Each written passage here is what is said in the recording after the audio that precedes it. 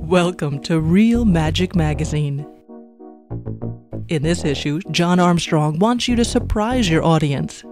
There is a huge lack of surprise in a lot of card magic.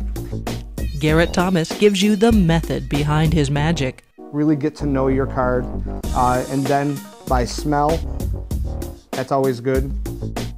John Lovick talks to Chris Kenner. I roll my window down and he goes, "Hey, uh, those are the ninth rim." Uh, and I, at the time, I thought, "Well, that's either Criss Angel or Elmer Fudd." I couldn't quite, you know. David Regal reviews a few unusual DVDs. Just say he does something in an unusual way, and it's absolutely deceptive. You'll get it, and you'll go, Really? "Yeah, really." And we have an exclusive tour of the Magic Castle Library. David Kaye wants you to stick your thumb in it. The most important uh, condition for choosing a thumb tip is the fit, how it fits on your thumb.